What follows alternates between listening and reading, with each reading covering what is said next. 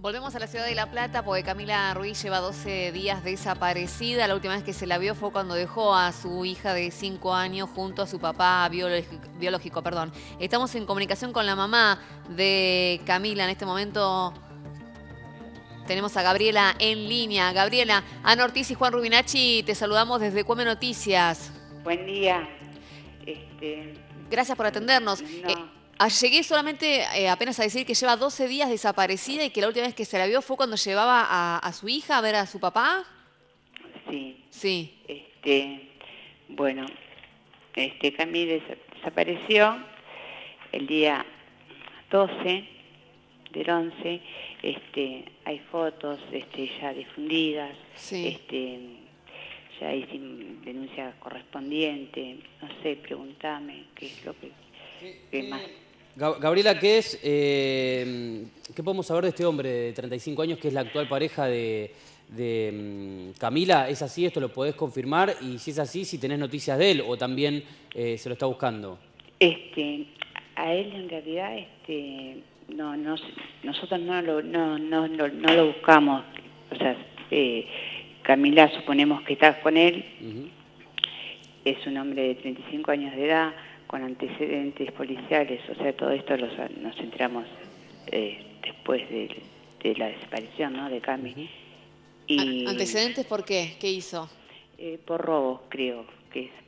Este, Eh, eh, Camila tiene No. vein- 21 años. Ah, Camila, no. No, no, digo la edad. Le da 21 años. 21. Él 35 y ustedes suponen que está con él.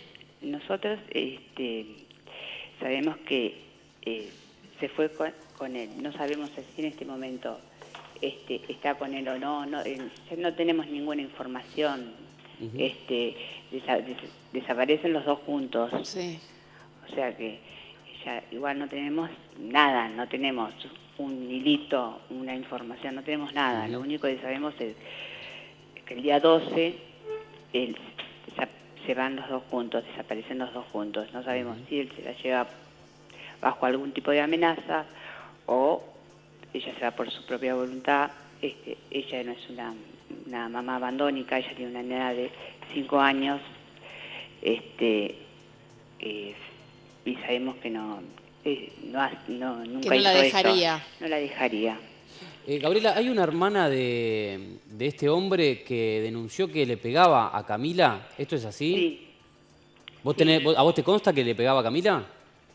mira, o sea, ella desde el 21 de octubre eh, estaba viviendo este, en concubinato con él. Sí. Eh,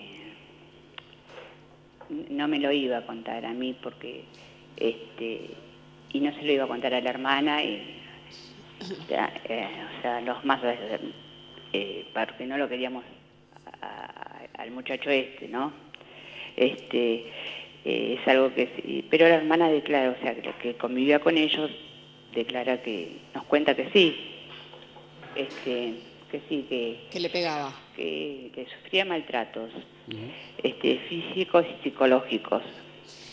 Eh, Viste, Gabriela, que cuando hay casos de violencia de género, por más que la mamá por ahí, la hija no le cuente que le pegan o que la maltratan, hay cuestiones que uno empieza a notar, cambios de actitud, quizás se aíslan un poco, no, no van a visitar toda la... Sí, sí, Sí. eh, fue, este, en realidad este, es, una, es una relación muy corta la de ellos, de 10 meses, Sí. y de concubinato casi no llegan a, a- al, al mes, o sea, yo- o sea, viviendo en la misma casa.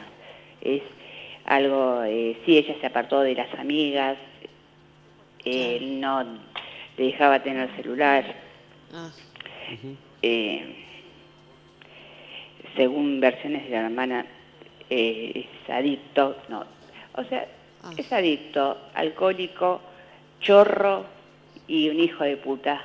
Sí. Este, eh, no es, no es que se supone, es así. Es así. Gabriela, Este, ayer este, nos comunicamos este, este, con, un, pa- con un hermano también de él que nos dice también lo mismo, que, que es una persona que les arruinó la vida, que, o sea, que es una persona peligrosa. Estamos hablando de una persona peligrosa.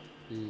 Este, que le preguntamos a este hermano si, sabía dónde, dónde lo podíamos localizar a él, si, y nos dice, él se mete en todas las villas de, Buenos Aires, las conoce a todas, y las villas de La Plata, o sea, no tengo trato, no, no, tenemos trato, nos arruinó la vida. este, no sabemos, o sea, el comportamiento que él ha tenido con, la parte de, eh, la familia del padre, con la parte de la familia de la madre, sabemos que sí, o sea, la madre es una señora que está postrada y él ha tenido maltratos con la madre incluso, o sea, este, pero esto, esto lo sabemos ahora. Este, Gabriela, eh, una consulta más por lo menos de mi parte, eh, tiene que ver con si están conformes con, lo que se está haciendo en materia búsqueda, por dónde la están buscando, si este, han recibido los reclamos este, las autoridades. Mira, en realidad la comisaría décima de Citibel se ha portado muy mal con nosotros. este, eh, en principio nos habían dicho, nos tomaron la denuncia y nos dijeron, señora, su hija tiene 21 años. Eh, preocúpese por la menor, o sea, por la hija. ¿Eso te dijeron a vos en la comisaría? Sí. Señora, su hija tiene 21 años. Preocúpese por la menor. En, en, otra, en otra ocasión me dijeron, señora, ¿su hija cuántos años tenía? Mi hija no tenía porque yo la quiero viva. Yo creo que mi hija está viva, ¿no? Comisaría entonces, no, ¿no? Entonces no tenía mi hija 21 años. Mi hija tiene 21 años. Pero qué barbaridad. tiene 21 eh, años y la tengo que encontrar. Este, yo sé que ella no, no es que no quiere volver a su casa, no es que no quiere volver a ver a su hija. Eh, sé que no puede, que está en alguna villa, en algún lugar que no sabe cómo volver, que no sabe cómo salir. Este, Qué desesperante. Sí, es desesperante. Y bueno, ya se está difundiendo igual este, la foto de Camila y de Alejandro Barrera. ¿Eh? Sí, nosotros también estamos pasando las fotos en este momento ¿eh? para ayudar en, en, la búsqueda.